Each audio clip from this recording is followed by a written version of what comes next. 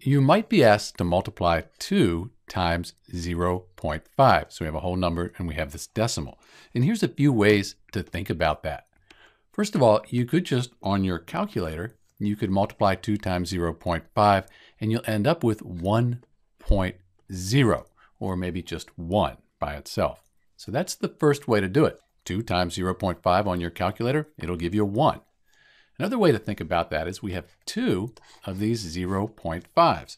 So we could say we have one, two, two of these 0.5, so we could just add them together. 0.5 plus 0.5, that just equals 1, or you could call it 1.0. So that's another way to think about it. We get the same answer. Finally, you could multiply 2 times 0.5. 2 times 5, that's 10. And then 2 times 0, that's not anything. We have this one decimal place here, one decimal place here. And again, 2 times 0.5, that's 1.0. You could just call it 1.